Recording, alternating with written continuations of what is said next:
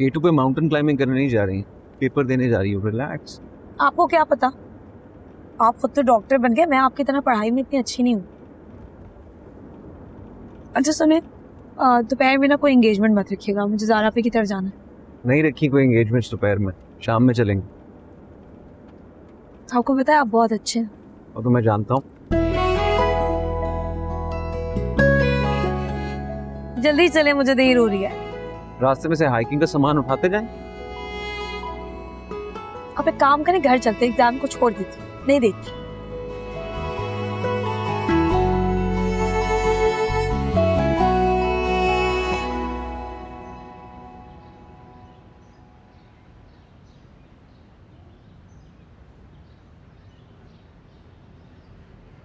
बहुत ढीठ हो तुम उस दिन का थप्पड़ इतनी जल्दी भूल गए हो।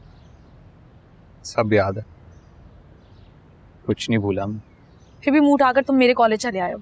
ये जानते हुए भी कि मैं तुम्हारा चेहरा नहीं देखना चाहती। वो भी वक्त था कि ये चेहरा देखे बगैर तुम्हारी सुबह नहीं होती थी। चैन नहीं आता था तुम्हें? मूवीज़ वो मेरा माजी था मेरा बचपना।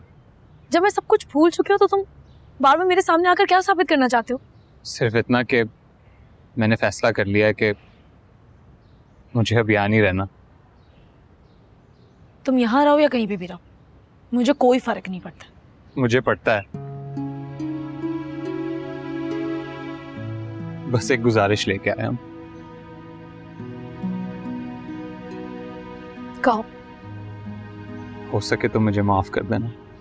हालाँकि कसूरवार तो हालात और वक्त है। मैं तुम्हें कब का माफ़ कर चुकी हूँ? बल्कि मैं तो तुम्हारी शुक्रगुजार हूँ। अगर मैं तुम्हें ना पहचानती ना तो खुद की पहचान खो देती। और अब आज के बाद ना मेरे सामने मत आ। मेरे शौहर मुझे लेने आने वाले जाना है मुझे। खुश रहो। आज के बाद ये चेहरा तुम कभी नहीं देखोगे।